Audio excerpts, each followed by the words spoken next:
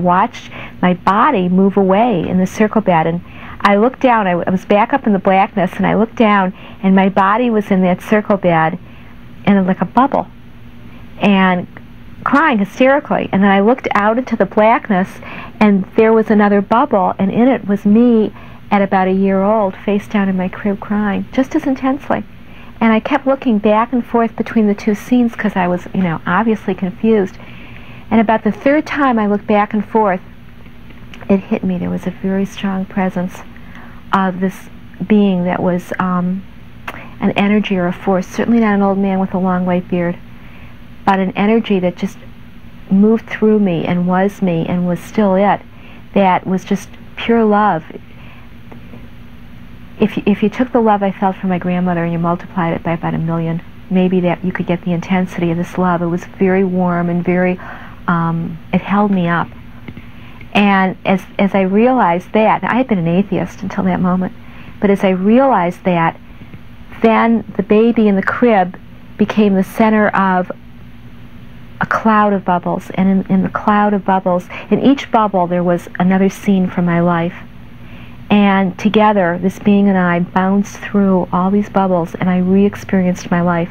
And I re experienced everything, including what the other people in the bubble experienced too. I mean, I, I wasn't just re-experiencing it as myself, but I was my mother and my dad and my brother and my boyfriend who went on become to become my husband, and then my kids. I was them as well as me, and I could feel the love, and I could feel the negative times too. I could feel everything that was going on.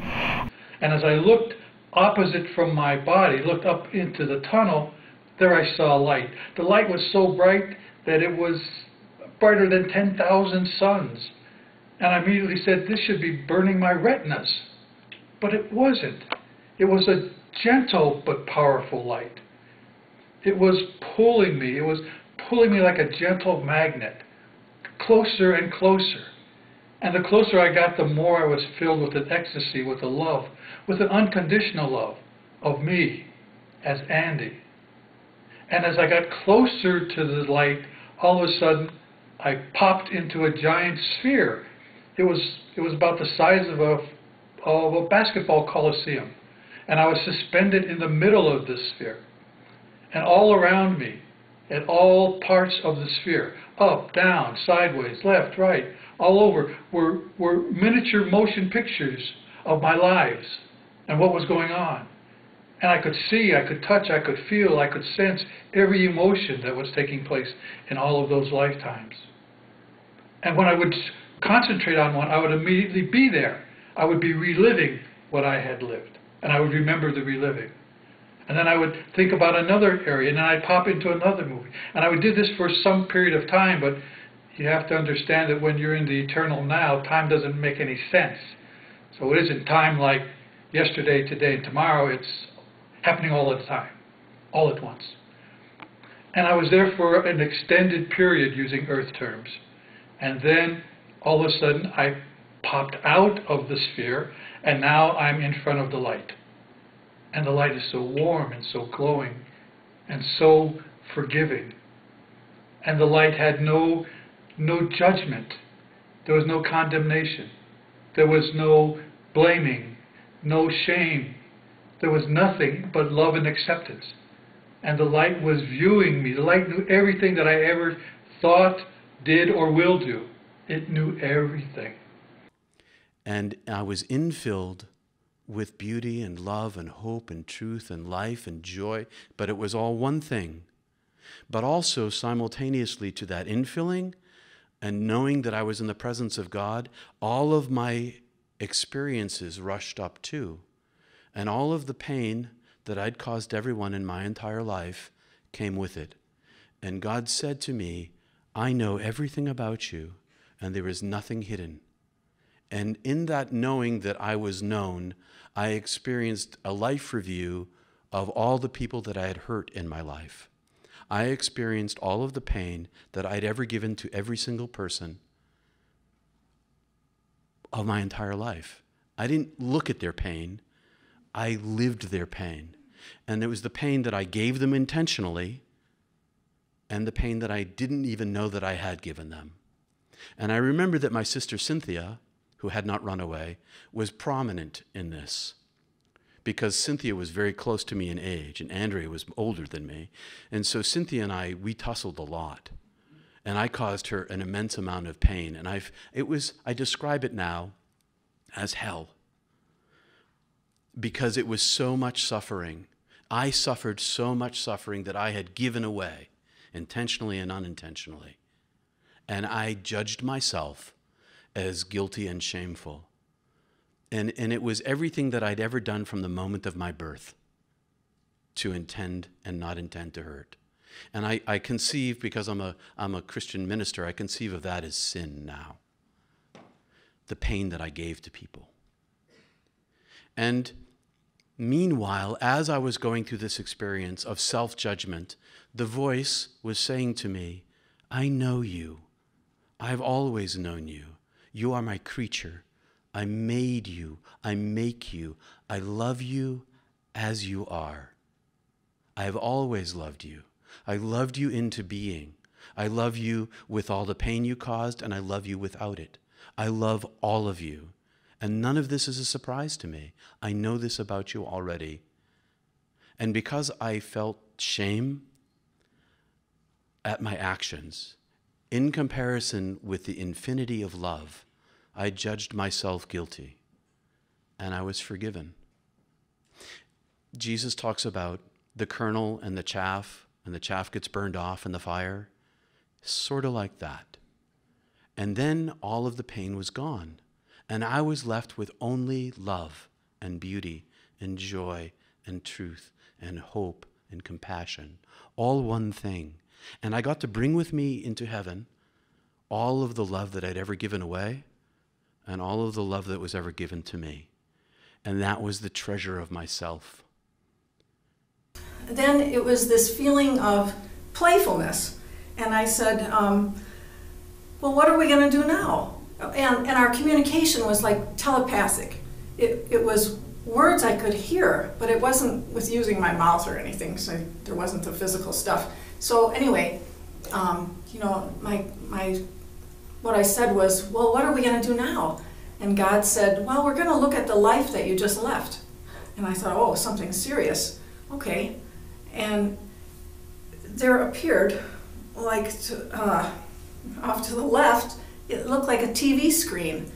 And God had control of the remote. And what was going to start playing was my life that I just left.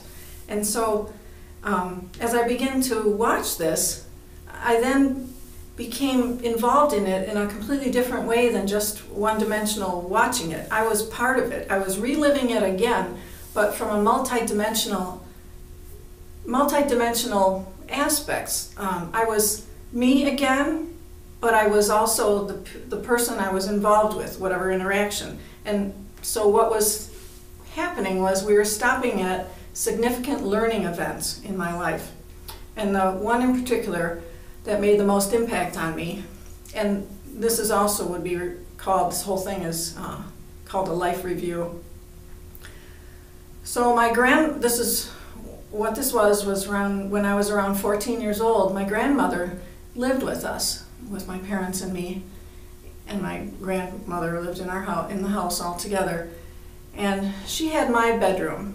My bedroom was given to her.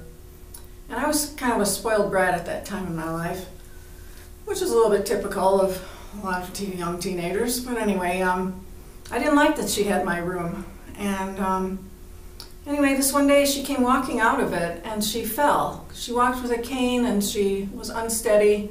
She fell down and so hard that she dented the wall that she hit. And oh my gosh, as I think of it now, I mean, the force must have hurt her so bad. And at that time, I, I only thought of myself and I laughed at her. It was awful to relive this from a completely different perspective. I felt her pain and, you know, how she felt towards me. And but really it was me who was hard on myself, just thinking what a horrible spoiled brat teenager, only thinking of herself and not about anybody else and oh my goodness. So um, I just thought I was the worst person. And God had to really ask me some questions, you know, like, what did you learn from this now?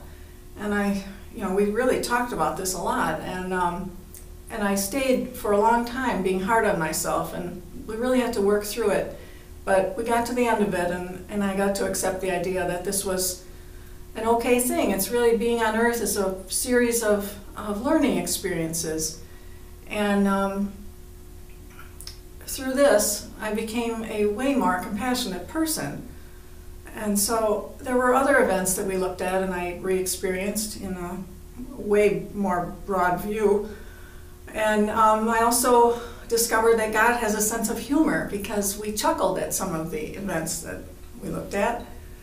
And that was very relieving to me. God is not judge, or in my experience of all this, not judgmental in any way at all. And they were all moving, kind of dancing, and they it, and and the movement of all these fragments of light looked to be like it was of one mind. They were all in union together. Well, as I got closer, three fragments broke away and they came toward me and they started greeting me. And they were welcoming me home. They were welcoming me home. And I recognized them as family. Now, I told you I didn't really have a, my family was, you know, I, I never really had a sense of family in life. But these light beings, I recognized them. I recognized them as, a, as my soul family. And eventually a dozen of them came and greeted me, welcoming me, welcoming me back, welcoming me back. And we kind of we moved further into the light together and we started to experience a life review. And in the life review, I got to see everything in my life, not only from my perspective, but everyone I'd ever interacted with from their, their perspective. I got to see their anger, I got to see their frustration, I got to see their love. And so it was like my consciousness had fragmented into these multiple streams of fragment of, of consciousness, multiple streams of consciousness. And I was experiencing my life in its entirety over again. And I got to see things that, well, like I said, I was a brash young man. I was a street tough. And um, I, I did a few things I wasn't too proud of. And my soul family were in this experience with me, and they were experiencing it the same way I was. And so some of the unsavory parts of my life I wasn't I wasn't too proud of, and I was a little ashamed that they had to experience this. But they just loved me. They just loved me and supported me.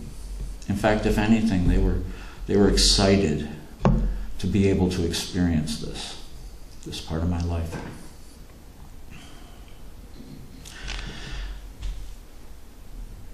I started seeing parts of my life that I didn't have a foundation to. In other words, I'd went past my death and into my future life. I didn't realize what it was at the time, but I knew I didn't have a foundation. It wasn't anything that I had lived, but I started seeing my, my future.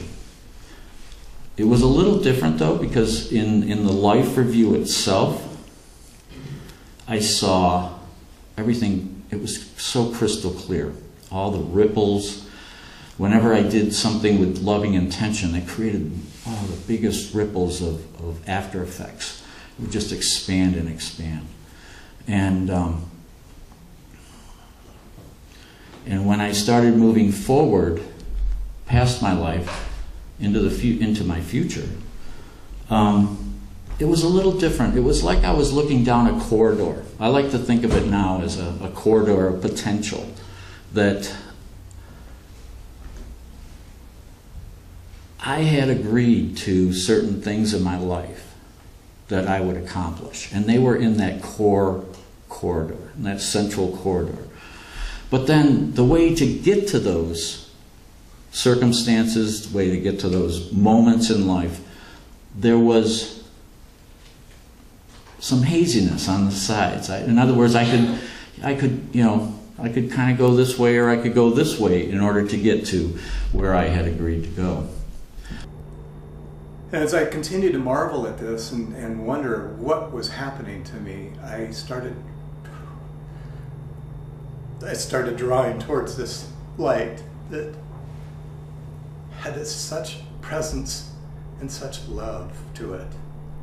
And as I as I started moving towards it or it moving towards me, there was no reference point to understand what you know who was doing what. Um, I had what many people have called a kind of a life review, and the review for me were events in my life that um, really defined who Jim was, who who I feel my sense of self is, my sense of self-esteem and identity, and most of them were around places I've struggled and, and been stuck with. And as I experienced an event, it seemed to resolve in my mind and would disappear, and another event would emerge. And with each disappearance, the light got brighter and brighter and brighter. And eventually, I began to feel as if I was actually on the edge and then being enveloped by the light. And I felt my legs filling with this light, this presence, this love, this infinite unity, acceptance, absolutely no judgments. all the judgments I had entertained in the life review were mine. And as I let them go, I actually was able to release closer and closer to this light. Um, it was all brilliant light. Um, and it didn't burn your eyes. It's not like staring at the sun where you can't look for very long and then you have to look away.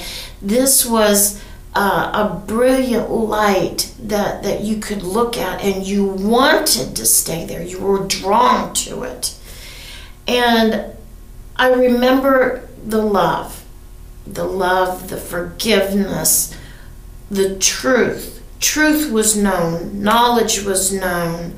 Um, everything was going to be okay. That was the message at all times to me um, the Christ, when he arrived, immediately started what near death experiencers call as a life review. And for me, how mine were, worked was it was like a screen, and on the screen were pictures of people's faces. And these people were uh, the people that I had had interaction with throughout my entire lifetime. And whatever I had caused that person to feel as a result of my interaction with them, that's what I felt for for a brief second, very intense. Whether it was we had a good interaction or we had a bad interaction, I felt that intensity, uh, and then it kept rolling, just just fast as could be, just, just lightning fast of people's faces. But yet I comprehended everything that was going on. Time has no meaning. Um, the time that I was there by earthly terms was four hours, but it seemed like I was there only a, a few seconds. But time has no meaning there. Uh, the next thing the Christ asked me, he said, what did you learn from seeing all of these faces? And I said to him that love was the best choice. And he said, You're right. And I saw how I had to be careful how I treated people. And um, I never, never will forget that part of my near death experience my body's sort of this opaque thing. I'm sort of floating through space. I'm coming into this presence of this white light. It was like life. That's the only way I could interpret it. I wasn't afraid. I felt absolutely safe. My body was, when I looked at it, it was almost kind of see-through, but I felt okay. I thought, I've died, but I feel wonderful. This feels great. This is a, an incredible experience. And then I found myself focusing on this light that I was coming into the center of, that I was merging with, if you will. And the only thing I can say, because I was not a born again Christian, but I, I thought, this, I think this is Jesus. I couldn't see anybody, but there was a personality in the presence of this light. It was white light, indescribable in its uh, purity. And the other feelings that went with it were I'm loved, I'm in the presence of love. There's no sense of time at all, and in the presence of knowledge. And I felt so good, so loved. And he said, Jonathan, I want you to look at your life. And then every moment, every thought, every action, everything that I saw, beheld, did, I was living it. From the beginning all the way through until that present time. That's the only way I can describe it. I was living my life. No judgment on it, just this is your life. It's over. And I'm in, the, in his presence again, aware of that. And he said, Jonathan, what did you see? And I said, I just see negative, destructive choices my whole way. I, I, I, there's nothing good. All my thoughts, the suspicions, everything was negative. That's my life. And he said, All right. Then it faded away. So here I was, I have these 12 very, very tall beings of light regarding me, standing and looking at me, looking inside me. And I knew that they could see everything I had ever done, every thought I had ever had, every dream I had ever dreamt, every word I had ever spoken and I'm thinking of the 60s. And, and while I'm standing there kind of judging myself and wanting to shrink and, you know, oh, don't look at that part, you know, they were just loving me. They were showing, they were the personification of the rest of the love that I had been walking in.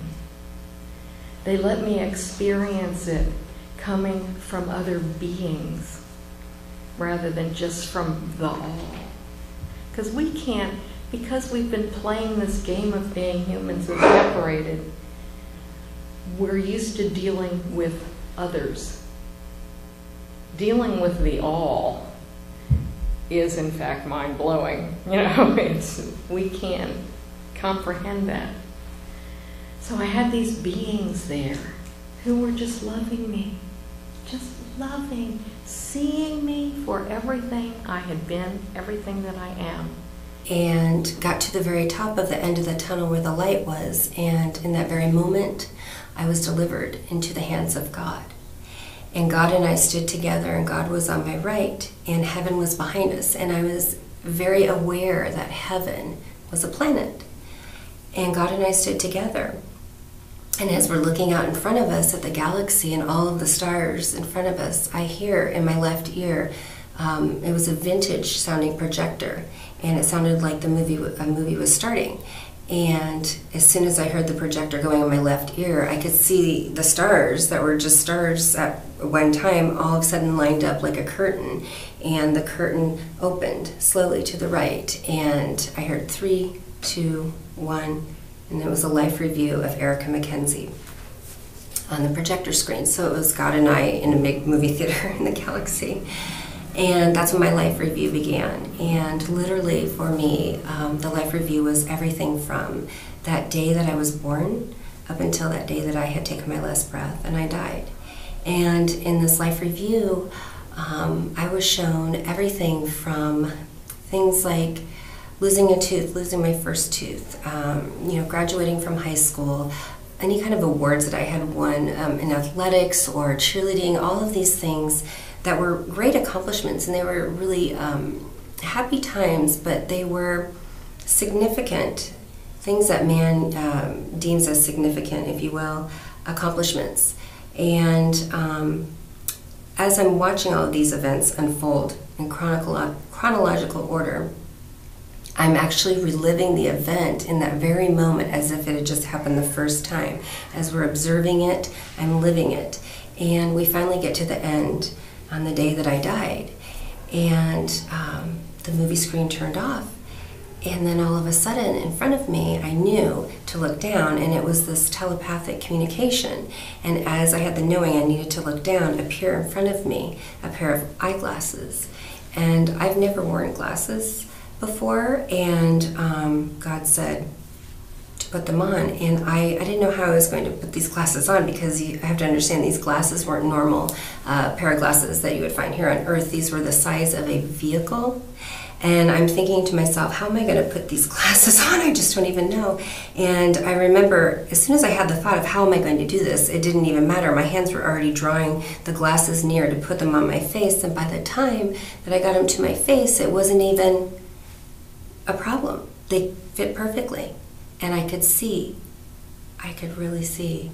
And then God said, now look. And as soon as he said, now look, again, I heard that vintage movie projector in my left ear. Three, two, one, the curtain opened again, life review of Erica McKenzie. So this was my second life review. And this time, I didn't see at all what I had seen the first time in the life review. Uh, this time I could see. And everything that I saw in this life review, starting with the day that I was born until that day that I had died, was not at all what I had seen before. This time, these were things that were important to God, not important to man. And they were not at all those um, accomplishments that I talked about before. These were things like love, and acts of kindness, things I couldn't even remember that I had done. Um, befriending someone that everybody was mean to, or you know, a, a neglected um, an animal, and I helped an animal, or giving money to a homeless person when I didn't really have money to give. Um, helping someone, you know, across the street, an elderly person.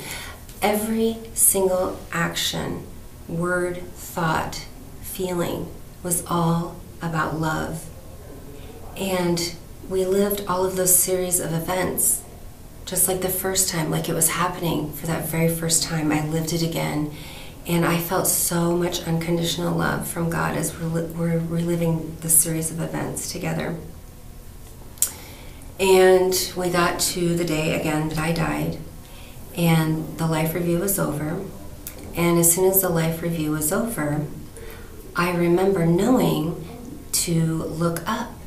And so I looked up and this was the only time that I was able to see um, God in a physical form at all. And what it was, was it was his, from his shoulder um, down to his fingertips.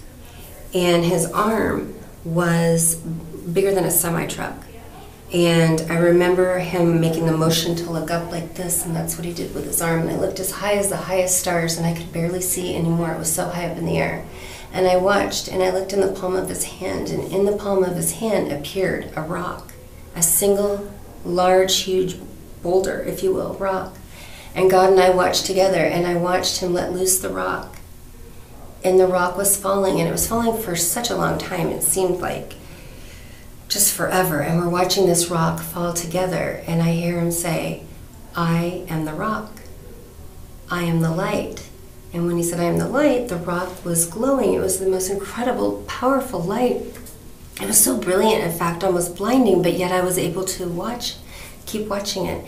And as the rock came right in front of us, and it's still falling, in front of me appeared the largest body of water, largest than, larger than the largest ocean, if you can imagine. I couldn't even see the borders outstretched all around me. And we watched this rock fall and it fell into the ocean and it made one single ripple, just one. And we watched that single ripple grow together, and that single ripple, it grew and it grew and it grew until you couldn't even see the borders of that ripple anymore. And God said to me, You are the rock. You are the light. You are the ripple that affects mankind. And I knew in that very moment, with the two life reviews, what that meant and it wasn't it wasn't about just me, Erica. It was about each and every one of us being that, that very rock when we're here on this journey, this earthly journey as humans, that we affect each and every person, even if we never meet them, just like that rock did in that water and the rippling effect. And I understood what that meant. But my experience was from a car wreck in the 70s, and I left my body and, and flew through what felt like a tunnel of lights just flying at me, and then I just emerged into this world of brilliant white light in a an, a place that was nothing but love. That's the only way that can describe it, just a complete feeling of love. And I stood before a being of light that did nothing but love me, was capable of only loving me. And I watched my life. I saw my life review, and I'm the one that condemned myself and criticized myself in the sense that I just wanted to do better, to be in this place and to be in this presence of this life that just unconditionally loved me made me want to treat people better and made me want to love myself. I, I think uh, I was no different than, than a lot of people that that are always criticizing themselves or uh, feeling guilty about things. That's the way that I was raised. That's the religion that I was raised in. That you know, uh, God was someone to be feared, and and that I would be judged. So I needed to walk a straight line and it was it was so different than that. I was loved un- unconditionally, and all I wanted to do was come back and do better and love people and and learn how to love and forgive and be a better person and have something better to offer. That's when the download came. I mean, that's when it's like it, almost felt as if everything went away, and then I became part of everything. I was part of that. I was part of everything out there. My son had melded into me. I had melded in to what I call God, and we had literally became one. And then just all this knowledge, truth, comprehension, everything came flowing through me in a way where it was very, very intimate. It was very, very personal. I didn't see the future. I didn't see, you know, the creation of the world. What I experienced was my life, my life and what had happened in my life. And I saw all the things in my life that were beautiful, all the things that were painful, all the things that I judged as mistakes. You know, I saw things that I judged as wrong, and yet in this beautiful embrace, there was no judgment. I, I saw that it was all unconditional love. It was as if not just you know the being that held me but the entire universe was saying look how much we've loved you look how much we've supported you look how we've honored your life look how we've allowed you to go and learn and choose and grow and be and it was absolutely unconditional love. So everything I saw was very, very um, loving. It was perfect. I realized that my life was perfect, even with the pain, even with the accident, everything that had happened.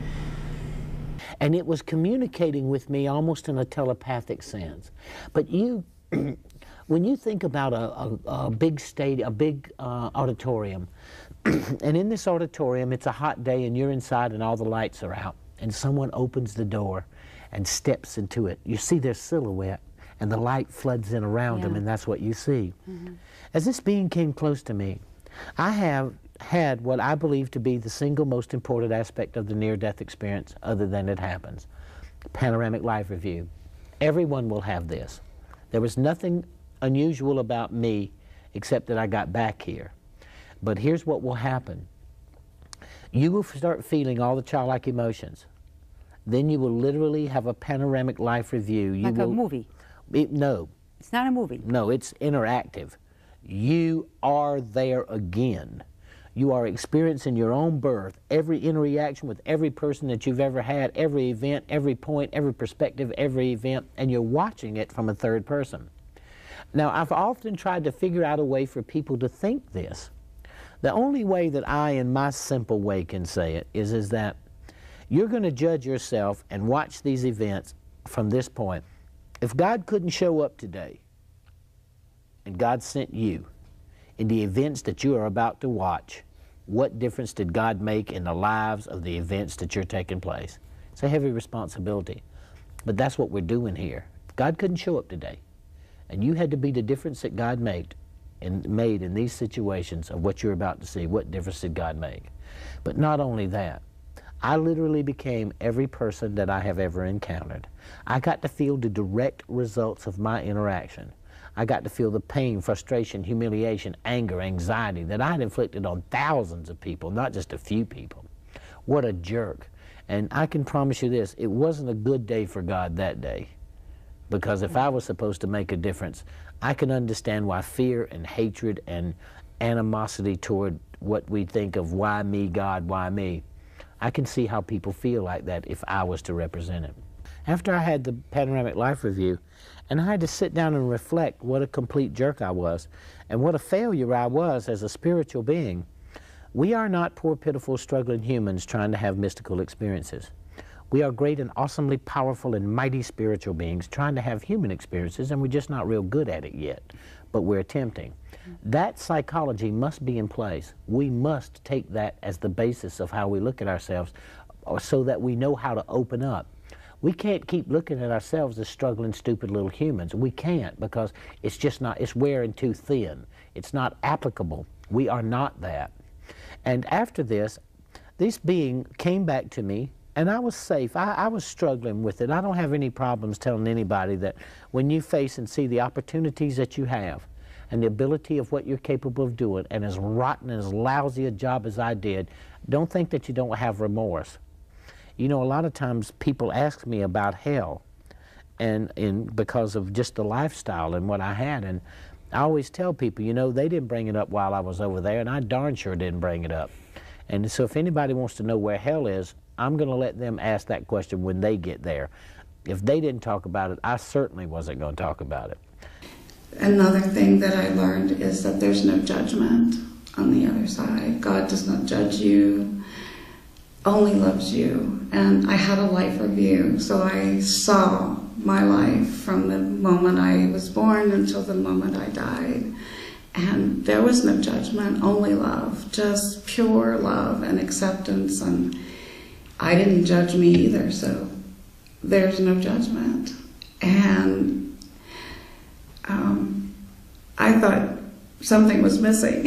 you know, when I saw my life review, and I thought, wow, that was interesting. Something's missing. What is it? What we all think is that there's judgment and condemnation and all of that, and that's not the case. You're just totally loved. Um, so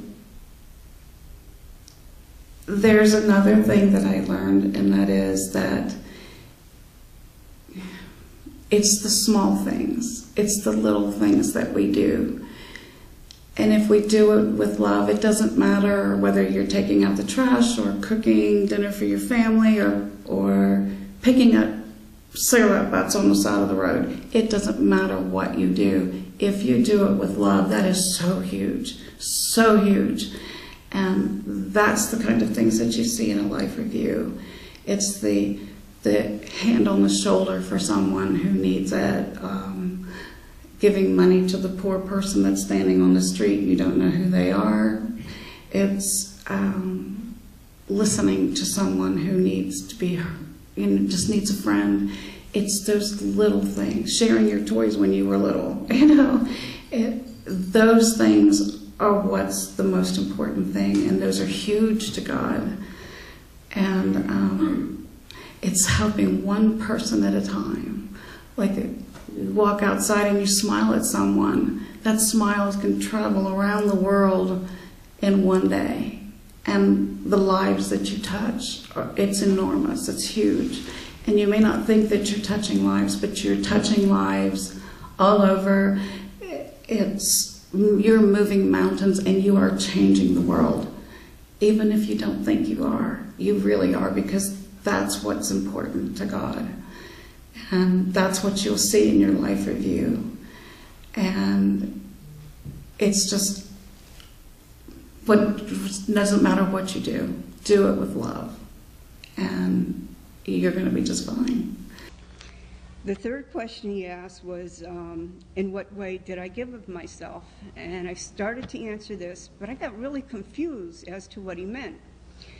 So then um, he started to show me and tell me at the same time.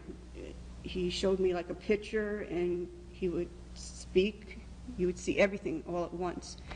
And uh, this is what we call your life review. I don't know if any of you have heard of that, but it's your life review.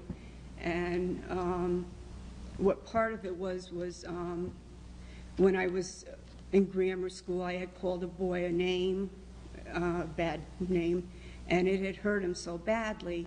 And you relive all the emotions of that person, of how much you hurt him. And I had hurt him very badly, which I never realized. And you feel all the pain you put that person through. So when you go through your life review, you live everything. I mean, it's it's really fast. Uh, there's like no time over there, and you feel all the good, all the bad that you've done to someone. You know, and, and you never realize you you've done this to the person, but you know, when you're over there, you learn it. I just started to go up into this light, and it was the most wonderful feeling. Nothing else mattered. Nothing.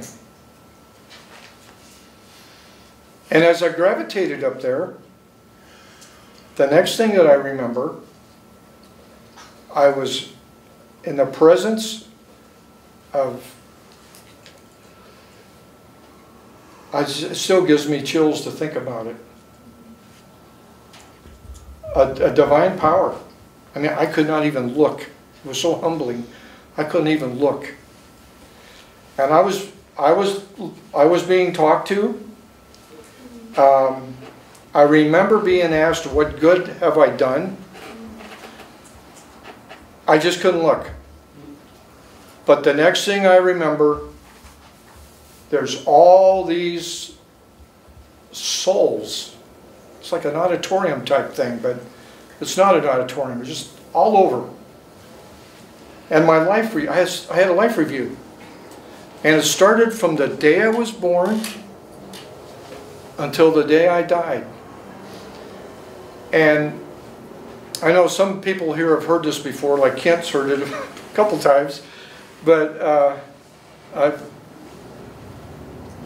don't mean to be boring to you there, but I remember seeing things that were just not only were they actual things that happened, I could feel myself going through things myself, but I also could feel everybody else's feelings and thoughts about me.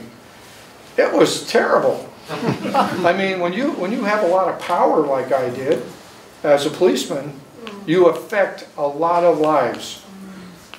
And the same thing with being a city manager or a big boss where you uh, maybe you've terminated somebody or maybe something's happened and, and um, you wish you could have another chance to redo it. And what happened in uh, my life review is that it was just powerfully loving, and I felt almost like a totem pole way of being in this life review where we have at the portal, I was more identity, and then on this other part, I was just like soul, and I wasn't my identity. And then the life review, I had um, this connection to the smallest part of me that was like the, the little ego or whatever we want to call it, and um, even like my animal nature. And I had this connection also to the part of me that's just soul. And then I had connection to the people on the outside all around me. And, and yet I could feel the oneness as well and all the layers of everyone and everything that was.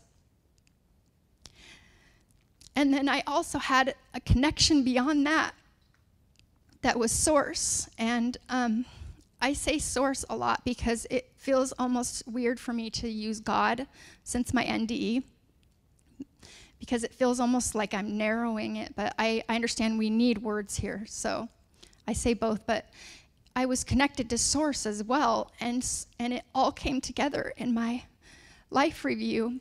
And I could feel everyone, and I could feel myself, and I, I had compassion on myself and other people the way as parents when we have a toddler or two toddlers say they're playing and and you know one gets mad and pulls the block from the other and we're not thinking of that toddler you're evil or you're bad or now you're going you're not going to make it to heaven you know or or if your toddler runs down the hallway and trips and falls um, it's not, you know, I'm going to write that one down. It was like everything was it.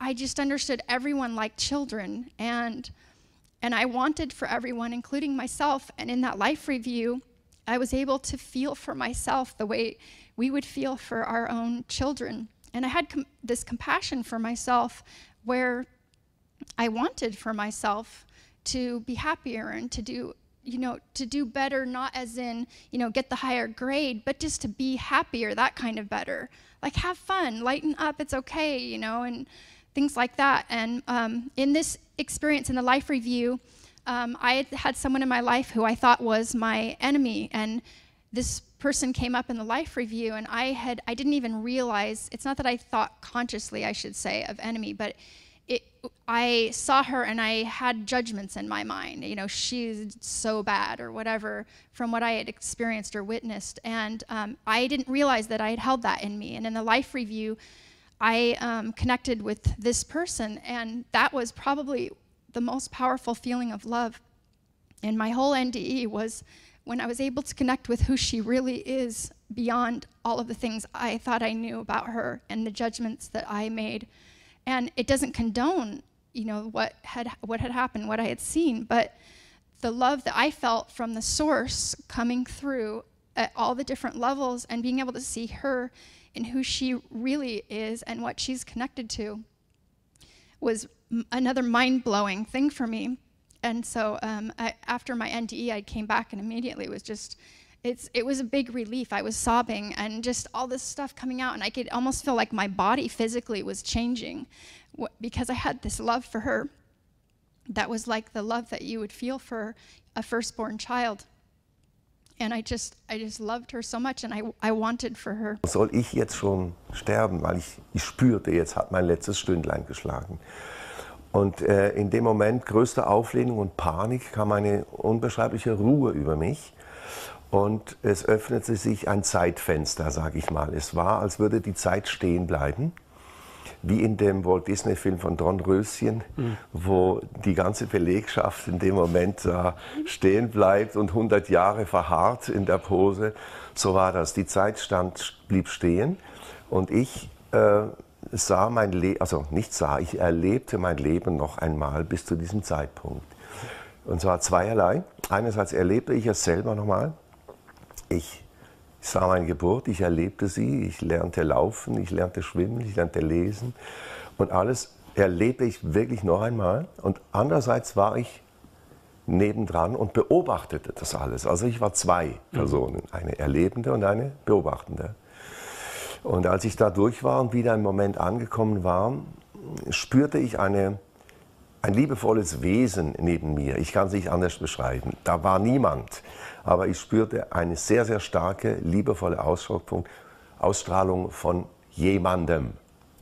Und dieser jemand dachte zu mir in Gedanken, so, jetzt hast du das nochmal gesehen, wie beurteilst du jetzt dein Leben? Freundlich, nicht, ja, so. Hm. Und ich äh, sah, machte dann natürlich ehrlich meine Meinung und sagte, ja, aus diesen 20 Jahren habe ich jetzt nicht viel rausgeholt ich habe dieses Geschenk des Lebens eigentlich auf eine Art verplempert. Und ich spürte dann ein, klingt jetzt komisch, wenn man das so sagt, ich spürte ein Lächeln, ein liebevolles, verzeihendes Lächeln. Und äh, mir wurde dann gesagt, ja, das ist jetzt deine Meinung, du wirst aber nicht be- oder verurteilt für was du gemacht hast, sondern äh, es zählt allein das Erleben und deine Sammlung von Erfahrungen. Now, the important thing to understand is that that Gateway Valley was much more real than this world. Far sharper, crisper, and more real than this. This is very dreamlike by comparison. That was a deep deep mystery to me for a long time, trying to understand that ultra reality. It's very hard to put it into words. And when I would first describe that to people and talk about the ultra reality, people would say, Well, is that like high def TV?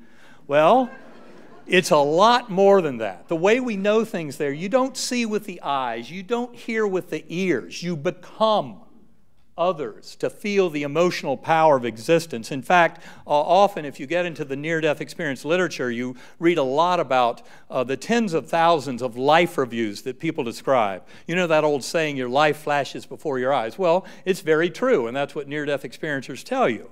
Is that you go through every bit of, the, of your life, all the crucial parts that are there to teach you about the lessons of good and bad, that are still residual lessons for you to learn, to help you and your higher soul and your soulmates, your soul group. And the judgment is not by any higher power, it's by our higher soul. That's what's doing the judging in that realm. And that's when we go through those life reviews. It's not some vague, sepia tinted memory. These are sharp, clear, crisp, absolute reliving the events more powerfully than when we live through them in the earthly realm. And we have to feel the power of our decisions, the emotional impact on our fellow beings. So if we lived a life handing out pain and suffering to others, we have to feel that in that life review. But we have to feel it far more sharply than they felt it here in the material realm, which is a pale, dim reflection of that far more real and crisp world of that, that gateway realm, of the realm between lives, where we reunite with our higher souls and where we reunite with our soul mates. And in the glaring, beautiful, all loving light of that infinitely powerful God, that is the setting in which we relive those events and then plan our next incarnations for coming back in. But it is a very crisp ultra reality. This is all about those lessons that we're here to learn. And the coin of that realm is love that unconditional love that goes far beyond the phrase, far beyond those words. And of course, so many who have had near death experiences and shared death experiences and other similarly spiritually transformative experiences know exactly what that's all about that unconditional love. And the reason it's so important for all of us to get is because we're here in soul school to learn those lessons of that love. And what we find is that that unconditional love has infinite power to heal. And I came from my journey to see that the hardships and difficulties in this life, and I promise you, as a, as a neurosurgeon, as a doctor, that very much includes illness and injury. They are gifts. They are opportunity for growth of our souls.